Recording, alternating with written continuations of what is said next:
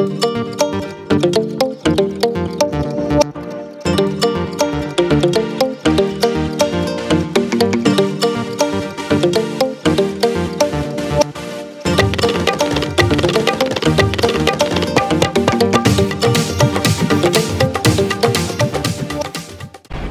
morning, guys! Happy Sunday! And it's Zach's birthday. Gising na siya. Nag-assist ako kagabi dito ng banner para kakantahan namin siya dito. So, ilalabas ko yung ano, ilalabas ko yung cake na binili namin kahapon. Wait lang. Tada! cinnamon roll na cake. Meron nga lang chocolate. Pero madali nang tanggalin yan. Ang hirap kasi maghanap ng cake for Zach kasi nga he doesn't like he doesn't eat chocolate. So, ang, most of the mga cakes na nakita namin kahapon may mga chocolate. So, yan. I-scrape off ko na lang yan pagka kakainin na niya. But sa loob, wala naman chocolate. So, yeah, ang cute, diba? Yan. Lalayan ko na ng candle. Tapos tatawagin ko siya. Happy birthday to you. Happy birthday to you. Happy birthday, dear Zaki. Happy birthday to you. Make it faster. Happy birthday to you. Happy birthday to you. Happy birthday, happy birthday, happy birthday to you. Close your eyes and make a wish. Yay! Roblox. Okay, one, two, three. Wait, let's put your cake facing there. One, two, three. Happy birthday!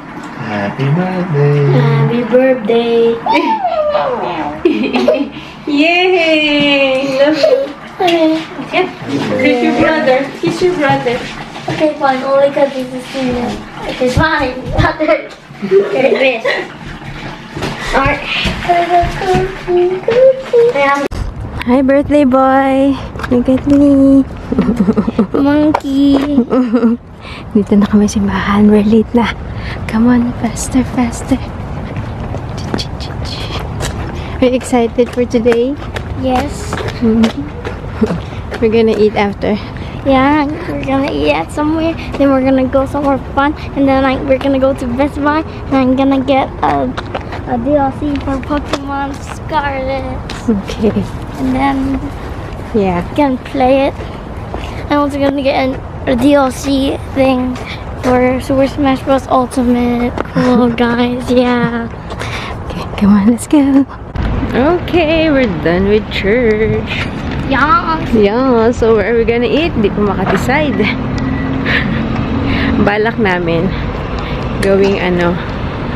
Yeah, but Zeb isn't okay with my options. You know, it's not his birthday.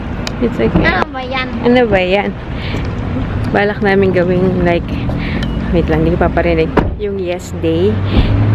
Um, parang everything na i-request ay mag-yes kami. So, pero hindi ko sasabihin. Parang ano lang. Mayano. Let's see. So, So, where? where are we eating? Where do you want? I want some chicken.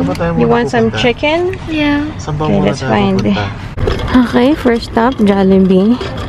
Dahil gusto daw ni Zeb, eh, ni Zeb, ni Zaki ng crispy na chicken. So, dito na lang kasi nagplano pala si Daddy, may pupuntahan kami parang inflatable na park. Malayo yun. Medyo malapit sa dati kung pinagtatrabahuhan. And wala naman makakainan pa doon. So, dito na tayo kumain. Malapit sa amin. Alright, we're here at the Big Fun Inflatable Park. Ganyan lang dito paligid. Walang mall sa paligid. That's why really, we really had to um, eat before coming. Okay. We're waiting in line. So meron siya doon, may arcade, may mga lockers. Are you happy? Yes. Mga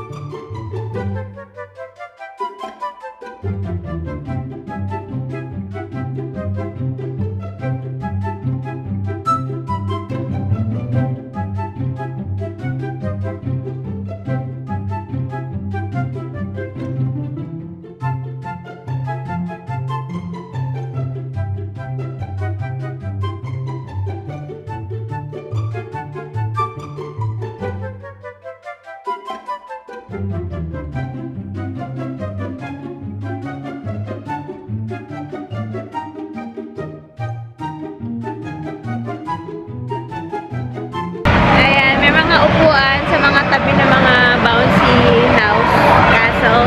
And meron din palang ka, ano dito, food. Pero syempre, like pizza, chicken fingers,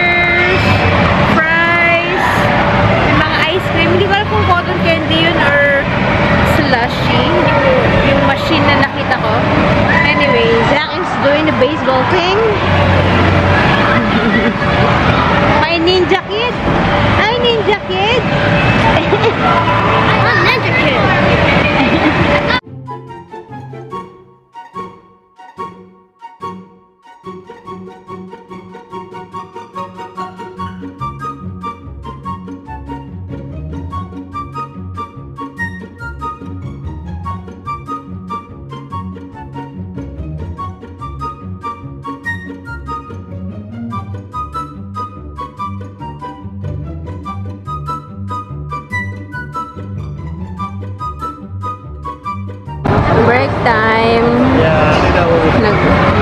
nagutom ang mga ticketing. Zeb is having... What are you having? Honey garlic chicken, of course. Yeah. And And Zach? it's still my birthday, so having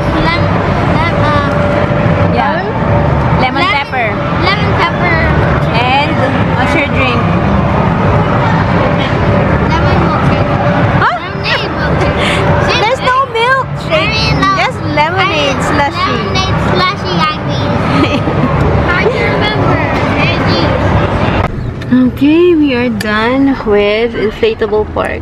Did you have fun? Yes. Did you have fun? Yeah, I did. I did a lot for flips. Yeah. It's uh, mag alas 4 na actually. I Pagka in weekend. places where it doesn't say that you can, so I did. Okay, wait. Pag weekend nakalagay doon, ano daw, try to limit your visit for 2 hours. Pag weekend. Pag weekdays, I think, mantusawa ka.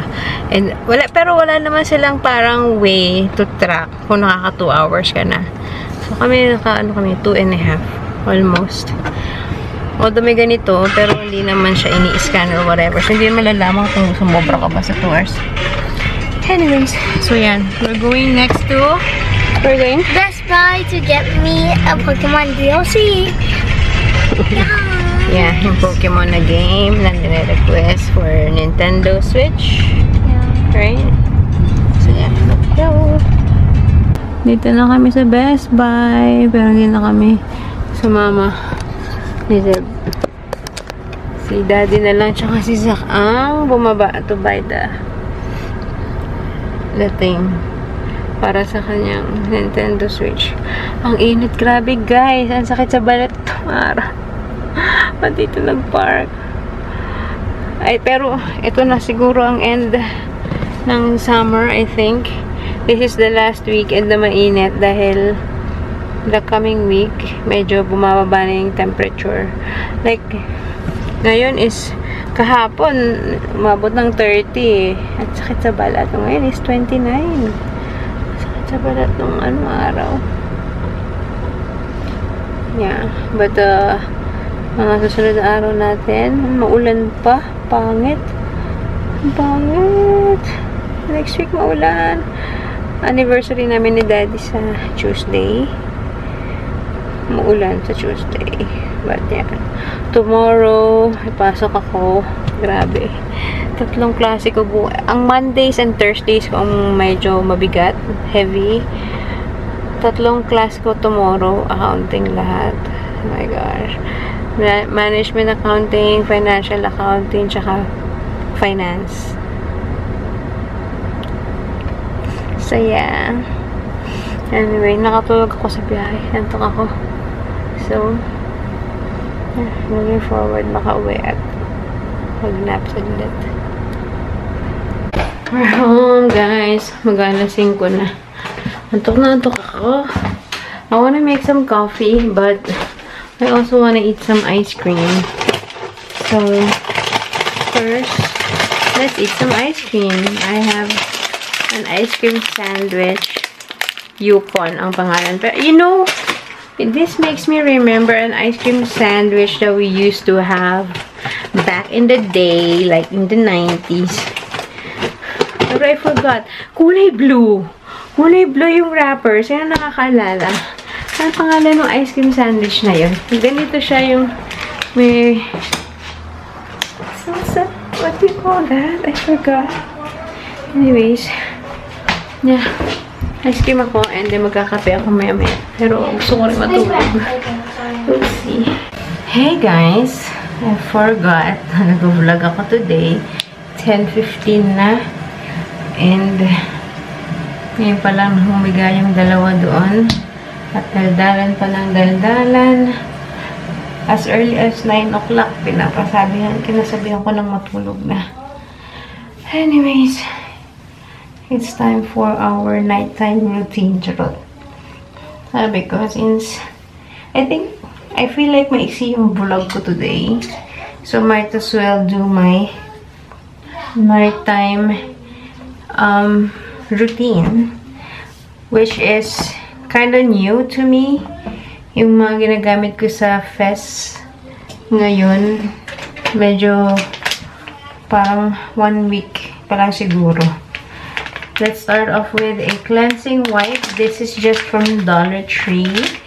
I've been seeing a lot of ang ano lang, nakakainis kasi yung mga nakikita ko sa TikTok na Dollar Tree haul, yung mga binibili nila sa Dollar Tree na sabi maganda, ganyan.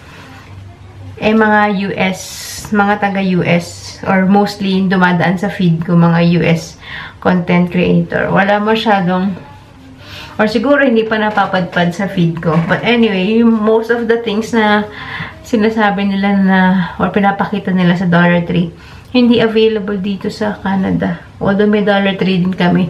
So, I'm sad.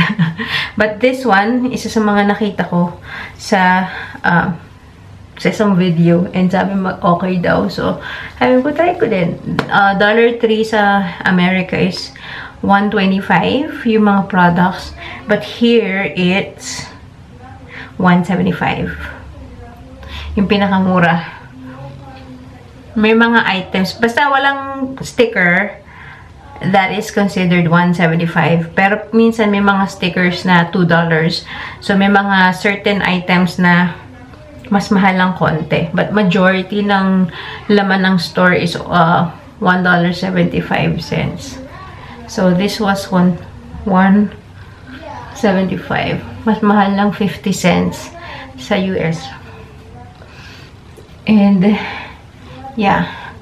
For my facial wash, isang taon na to guys. Ang tagal ko nang inuubos. Siguro na-vlog ko pa to. CeraVe na hydrating cream to foam cleanser. Konti na lang. Malapit na time. Tap maubos. Oo, isang taon na yan. Ganon siya ka... Minsan yun nare-realize. Parang sa, ini inaano ko na ayokong bumili ng anything na above $20. Ganon. Pero kung iisipin mo, I think 18 yata to yung bili ko sa Amazon. Bin in-order ko yan kasi for the sake na mag-free shipping yata or I can't remember. Parang may voucher yata kami. This was uh, bought at the same time as my study table. Parang may voucher yata kami nun. So, parang, para lang magamit yung voucher. So, naghahanap ako ng mga pwede, yung swak lang. And ito. So, if if I remember correctly, 18 or 20. Pero yun nga, sabi ko, pag minsan yung mga cleanser, ganyan, ayokong maabot ng $20. Pero kung isipin mo yung $20 kung isang taon mo gagamitin, sulit na sulit naman. so, yeah, magilamos muna tayo. Okay. Make sure kasama ang leeg sa paghilamos kasi I also put sunscreen or sunblock sa leg. Let's brush our teeth. Originally, dapat sa Tuesday, meron akong ang baba ng camera ko na pasensya dahil maiksi lang yung tripod ko. Sa Tuesday, supposedly meron akong dentist appointment. But then, ay, naalala ko na ano nga pala namin ni Daddy wedding anniversary. So, naka-leave siya. And ako, wala akong pasok. Originally, ang pasok ko ng Tuesday, 6 to 9 ng gabi. But, um, that will start pa sa October. Meron akong class na um, 2 times a week na 6 to 9 ng gabi. And, fast track siya, bale compared sa yung regular class kasi is 2 times a week na tig 2 hours. Ito, 2 times a week na tig 3 hours. So, para siyang fast track. So, imbis na mag-start kami ng, you know, katulad ito, yung like September, September 3 yung first day supposedly ng class for fall. Um, hindi pa kami mag-start agad sa October pa. Kasi nga, naka-fast track siya. Ayoko man i-take yung class na yun Um, kasi nga 6 to 9, tapos face to face. And by that time, maaga nang magdidilim nun. So, gabi na, talagang pag-uwi ako, madilim na. But then, I don't have any other choice. Dalawa lang yung class offered for that. And yung isang klase, magka-class siya dun sa isa kong klase. So, technically, I don't have any choice but to take that class. So, yun. Um, So, yun. Anyway, nirebook ko yung dentist appointment ko kasi nga anniversary namin ni Daddy sa Tuesday. And then si Zeb, ang appointment niya naman ay sa Wednesday. So, very thankful sa insurance ni Daddy. At nakaka, ano kami ng dentist kasi ang mahal. Hindi ko alam kung, actually, tinext lang naman ako. Miss Melanie, would you like to do a dentist parang full dental check-up kineme. Feeling, wala pa akong 6 months. April ako last nagpa-cleaning. Yeah, April. Wala pa akong 6 months. Usually, ang ginagawa nila pag naka 6 months ka na magre-remind na sa'yo na you need to, ano. So, siguro, wala silang masyadong patient. Naghanap sila na sa record. Offer natin si Miss Melanie na magpa-dental check-up. Eh, cover naman ng insurance. So, wala naman akong babayaran. Okay, fine. And, meron ding massage na kasama dun sa coverage ni daddy. So, yung massage dito, hindi katulad sa atin like yung mga um, mga massage spa or yung katulad dun sa Let's Face It dati, yung nagpapamasahe din ako dun. Um, yeah. Basta pag massage dito, kailangan registered MT, massage therapist. So, yung mga registered massage therapist, mag re-register sila sa Alberta. Tapos, pwede silang mag, ano, mag-bill sa client through insurance. Kasi registered sila. Tama? Tama ba yung pag-identity ko? Anyway, may nag-post isang beses sa Facebook si Ate Pinay. Sabi niya, sinong gusto magpa-home service, keme-keme, registered, ano siya, um, registered siyang massage therapist. So, pwede siyang mag-bill siya insurance directly So, why not? Tapos taga dito lang siya, as in walking distance. Pero since marami siyang dala, dala may dala siyang sariling kama. Ang, ang nakasanayan ko sa Pilipinas pag nagpapamasahe is dun lang ako sa kama ko, di ba? Doon ako mamasahin, hindi. Siya talaga may kasamang kama, yung may butas, para shoot yung mukha mong ganun. So, ang dami niyang paraphernal dala. Inahatid, inahatid siya ng asawa niya. So, ayun. And yan, nakadalawang beses na akong massage sa kanya. Okay naman. Um, so yun, binibil lang siya sa insurance namin. Tapos, since si daddy, ayaw naman na niyang massage. Hindi niya kayang massage, nakikilitin, nasasaktan. So, yung budget for him, ako din ang gagamit. So, ang saya. anyway, nag-toner na ako. Nakalimutan ko ipakita. Ayan, so ito pala yung nababawas ko. So, may isang, linggo. Another na nag-viral, I think, sa TikTok. I think I'm late in the trend. Yung Madagascar Centella na Skin 1004. Ang gamit kong variant is the Probio Sika. Pinagpipilian ko yung regular Centella which is mas malaki yung bote dito or this one. But I feel like pang, pang ganito na ako since, you know, with the age and all that. Tapos, we have two serums. So, again, the Centella one, Skin 1004. This is the Hyalu Sika. So, hyaluronic and I don't know, what's the Sika? Is it the Centella?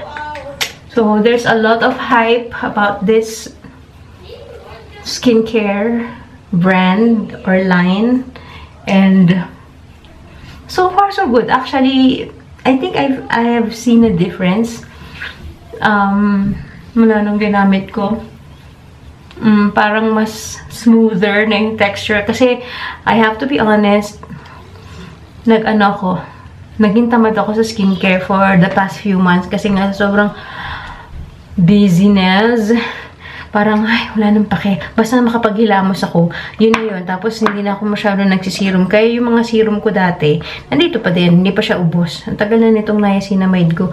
Itong retinol, kakabukas ko lang. Na, matagal na siya nandito, na, nakabox pa. Ngayon ko lang, recently ko lang siya binuksan. And then, this is the tea tree. Hmm, ganun. Tea tree naman nila. Which is, I feel kasi nung sinimula ko itong gamitin, medyo marami akong pimple. Pero yung pimple kasi yung maliit lang naman.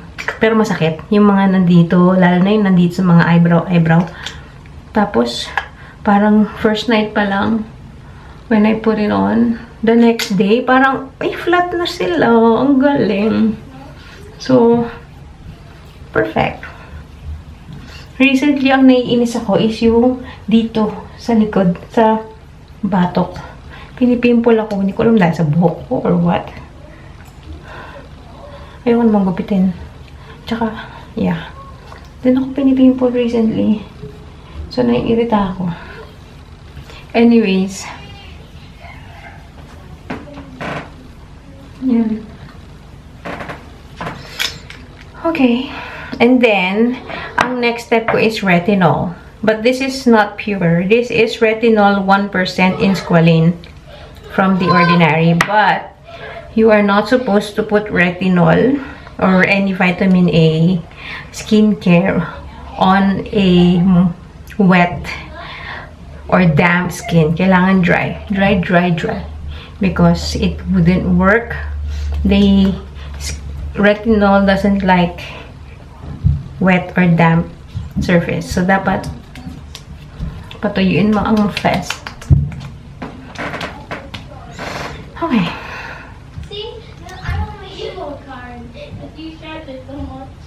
So, I've used this before. Nasa Singapore pa ako. Pero yun na nga. Minsan kasi, wala. Gusto mo mag-try ng mag-try ng iba. Mm. Ito kasi retinol na mismo pala, no? Meron kasing granactive retinoid. So, I think that is much, um, ano bang word? opposite ng harsh. Hindi ko maisip yung word. Ano ba to? Brain fog. Basta. So, basta nag nag-i-start pa lang sa retinol, hindi agad dapat nagre-retinol. Or actually, ito nga, hindi pa to talaga super duper retinol. Like yung mga ginagamit ng iba. Medyo, ano pa to, beginner friendly pa rin yan. Kasi 1% lang. Tapos, para nakahalo siya sa squalene oil. Hindi pa siya pure retinol. Pero kasi nga, sabi ko may granactive retinoid sila. Which is, I think, mas mababa sa 1% pa. Okay. O to, this one. This is from Dollarama. Dati, sabi ko, never akong gagamit ng mga, ano, mga skincare from Dollarama. Kasi, you never know, right? Dollar Tree. Is it Dollar Tree or Dollarama? Dollar $3 pala to, dollar $3 guys. $1.75. So far, hindi pa naman ako pinipimple. Sa isang, isang linggo ko na rin yata ginagamit. Kasi 'di ba, what if makadiscover ka ng Holy Grail product, charot. Kasi iba pinapanood ko talaga yung mga puti. Gumagamit naman sila and parang okay naman sila. Etong specific na to, hindi ko to nakita kahit kanina. Pero since nakita ko sa Dollar Tree na, ko might as well just try this. Yeah, it's a retinol skin cream. And, yeah, wala pa namang um, ano sa face ko. Negative reaction. And in the first place, hindi kasi sensitive yung skin ko. So, mas, I think kaya niya i-tolerate yung mga pinaglalagay ko. That's it.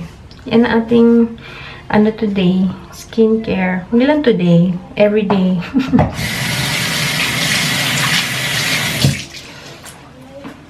ang init. Hindi pa rin ako nakaka-adjust sa kulay ng hair ko since ang dark niya. Although, yeah, medyo reddish. Diba nakikita niyo reddish? Is it a yay or nay? Let me know what you think. Bagay ba sa akin yung ganitong color or much better yung mga brown color? Actually, gusto ko magpa-blonde. Pero tsaka na. Gusto ko magpa-blonde. Yung may mga highlight-highlight na ano. Kasi nag-dark ako kasi nga lalamig na, fall na. So, sinasabayan natin. Ay, nainitan na ako. So, yun na guys. Tapos na. This is our nighttime routine and um, Zach's birthday celebration. Masaya naman ang bata. Nakuha ang gusto for today's video. ng mga, nakuha naman niya mga nire-request niya. So, yun. Hindi ako looking forward tomorrow sa aking classes na tatlo, na all accounting. So, from 10 a.m. to 6 ako nakakabukas sa school. Ang sad. Tapos, mga ano pa, salisi pa yung mga schedule namin. So, hindi kami magkikita-kita like sila Jen, sila Sheena. Si Sheena, isa lang ang pasok niya bukas eh. 8 to 10. Ako alas 10 naman. So, papa, papa, ano, mag-start pala ako ng class pa. Uwi na siya. Ang sad. Anyway lang guys, ang haba nito. Thank you for watching. I'll see you on the next video. Bye! Good night!